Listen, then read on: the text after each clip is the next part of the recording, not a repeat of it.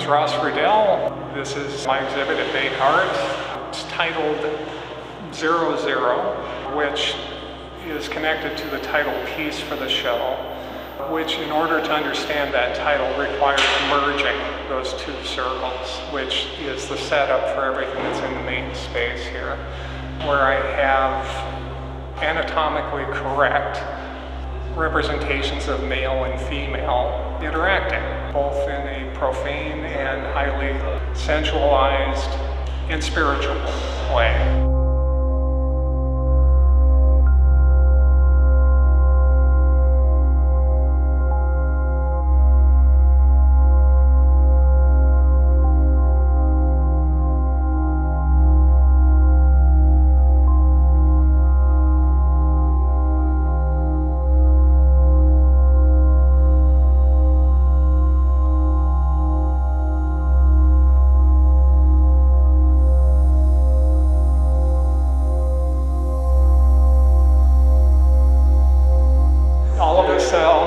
Into my experience having uh, gone up north for the eclipse and literally seeing these orbs interacting. Ties to my regular routines. I am nocturnal. I split my day in half. The afternoon is uh, afternoon into sunset. I think of as, ter of, uh, as terrestrial, and uh, from sunset on as celestial. And I make my art after after sundown. I hike extensively, I run in Griffith Park extensively, and, and these activities are also to and from.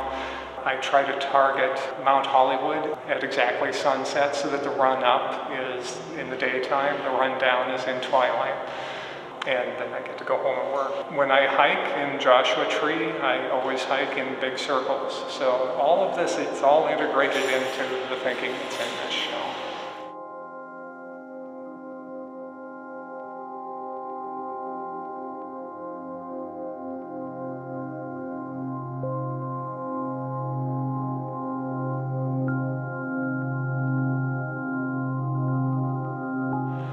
But there was one particular um, hike that I did that I came over a ridge and I looked down and the valley below me was uh, uh, what appeared to be like Stonehenge, uh, these columns of, of, granite and in a circle.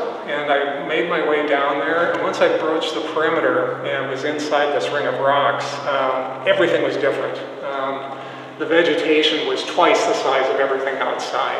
Um, the colors were just more vibrant. And I was, you know, I was, I was um, just intoxicated by it. And I started meandering down the stream, or you know, a, a wash, a dry stream bed. And so I'm going down the stream, and it seemed to just kind of continue a, cir a circular pattern, and in a truly Escher-esque uh, phenomenon, I ended back. Uh, ended up back where I started uh, that turn. And also, while I was out there, um, I came across this. a shoe that was desperately trying to be a circle.